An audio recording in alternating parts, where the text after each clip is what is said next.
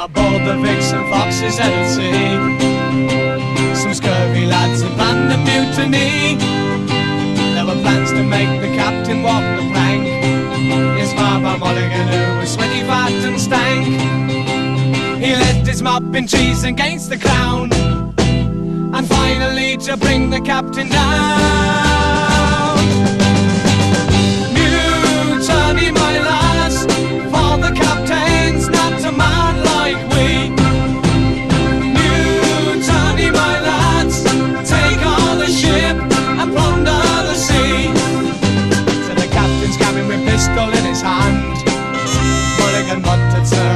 you please to stand.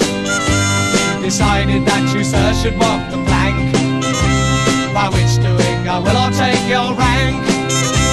As captain of the ship that sails the sea And you, sir, will sign the rubber to me. Mutiny, my lads, for the captain's not a man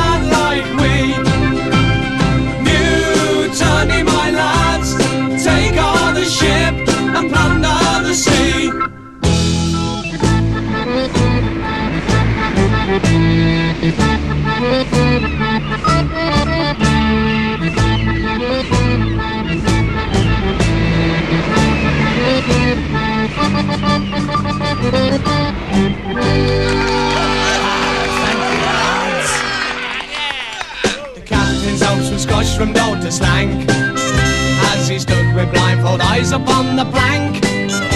With a sword placed at his rump he felt to see The captain of his ship no more to be. The dastardly crew did sail the ship and song Plundering again now sing song